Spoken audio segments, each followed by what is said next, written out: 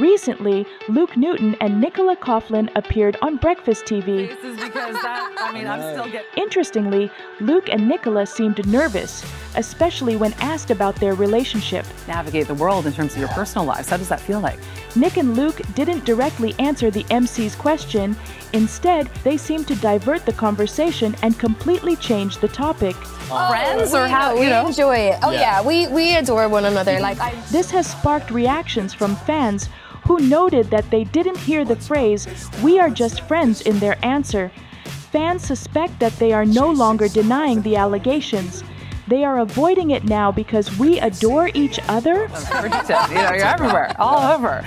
On the other hand, there was a moment when Nicola seemed blushing when the MC mentioned the carriage scene. In front of your faces because that, I mean, I'm still getting over it myself. Oh. That was. Uh, Also, Luke said, there are a few more encounters that are similar to the carriage scene. So there, there are More a few intimate. encounters that are similar to carriage, I would say. Um, Oh, this is so good.